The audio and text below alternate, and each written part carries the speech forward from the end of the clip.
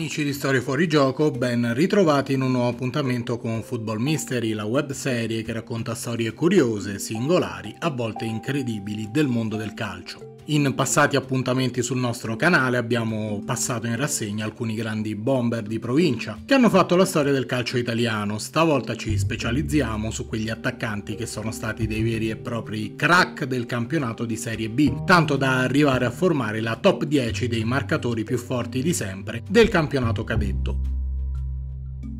Ecco la classifica dei 10 bomber con più gol nella storia del campionato di Serie B. Marco Ferrante, 114 gol. Si tratta sicuramente del bomber degli anni più difficili e combattivi del Torino, dei 114 gol realizzati nel campionato cadetto, Ferrante ne ha segnati ben 78 in maglia granata, laureandosi anche capocannoniere della Serie B con 26 gol nella stagione 1998-99. Ricordato per la sua esultanza che richiamava il Toro, Ferrante si è confermato anche nella stagione 1999-2000 segnando 18 gol in Serie A, sua miglior performance nel massimo massimo campionato.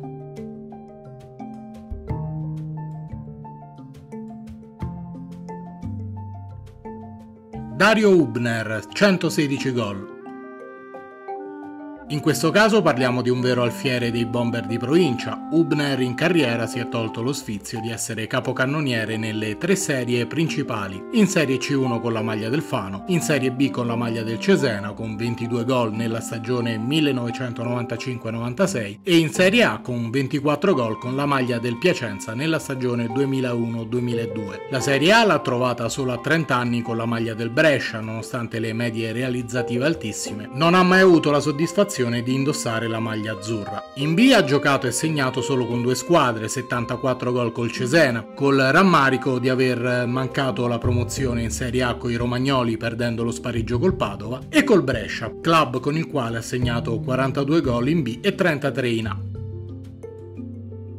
Federico Dionisi, 117 gol.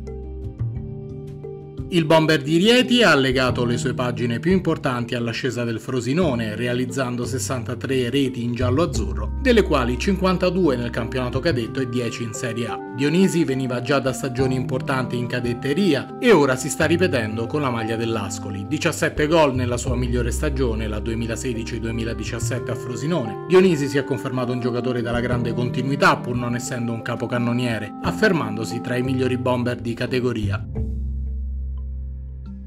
Francesco Caputo, 117 gol. Ciccio Caputo da Altamura, intramontabile e presente in maglia sampdoriana anche nell'ultima Serie A. È partito dai dilettanti fino a indossare la maglia del Bari, ma in Serie B ha giocato continuativamente per 10 anni, dal 2008 al 2018, brillando in particolare alla Virtus Entella con due stagioni consecutive da 17 e 18 gol. Ha 31 anni il premio della prima Serie A, onorata con 16 gol, con la maglia dell'Empoli. Nel 2020 la soddisfazione dell'esordio con gol in nazionale in occasione di Italia-Moldavia 6-0. Francesco Tavano 119 gol. Da un ciccio all'altro, Caputo e Tavano hanno avuto in comune l'aver legato entrambi ad Empoli pagine particolarmente importanti della loro carriera. Nativo di Caserta, Tavano esplode in realtà a 26 anni ad Empoli, 19 gol nel campionato di Serie B, segnato dalla promozione dei toscani. Nella stagione successiva l'Empoli si qualifica per la Coppa UEFA e Tavano si ripete, segnando ancora 19 gol, ma stavolta all'esordio in Serie A. Tenta il grande salto prima a Valencia e poi alla Roma, quindi torna bomber di provincia sempre in in Toscana, ma stavolta a Livorno, dove nella stagione 2008-2009 è capocannoniere con 24 gol, riporta i Labronici in Serie A. Quindi il ritorno ad Empoli ancora gol a raffica, in particolare i 22 nella promozione conquistata nella stagione 2013-2014 sotto la guida di Maurizio Sarri. Antonio De Vitis, 124 gol.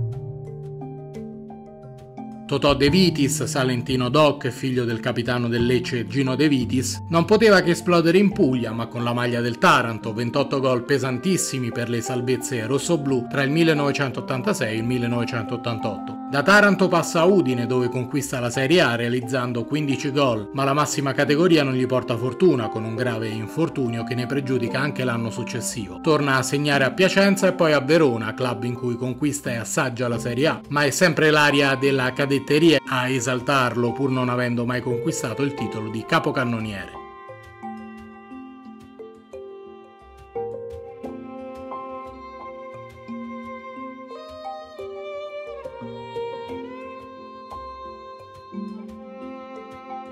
Giovanni Costanzo, 130 gol.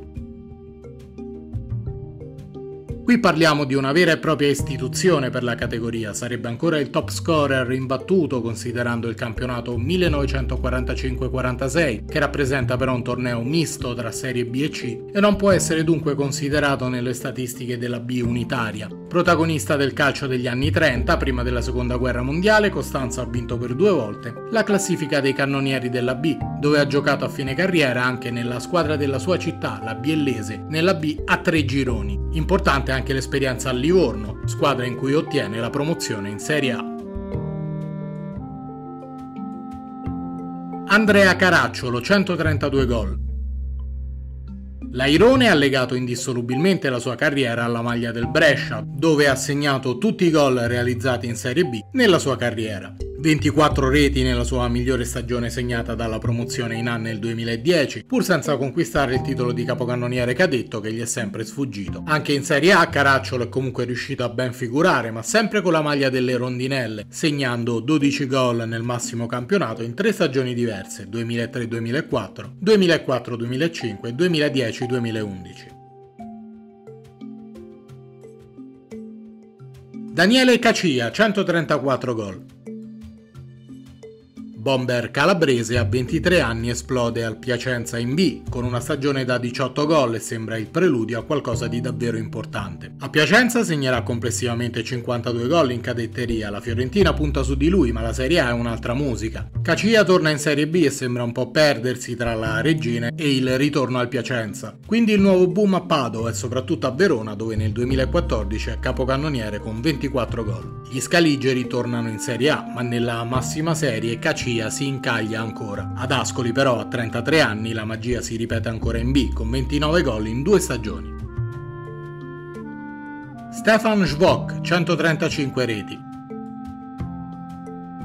La Serie B, il bomber di Bolzano la trova solo a 27 anni con la maglia del Ravenna dopo una trafila infinita e tanti gol nelle serie inferiori. Nessuno può immaginare che diventerà il bomber principe della categoria. Porta il Venezia in A con 17 reti nel 1998, ma il feeling con la massima serie non sboccerà.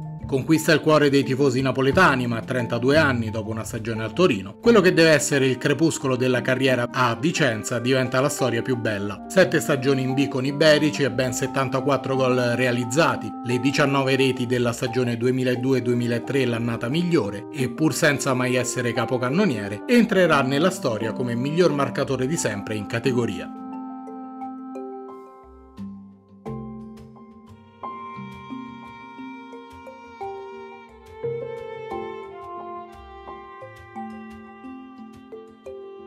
Se il video ti è piaciuto non dimenticare di lasciare un like, soprattutto di iscriverti al canale per essere sempre aggiornato sui prossimi appuntamenti di Football Mystery. Alla prossima!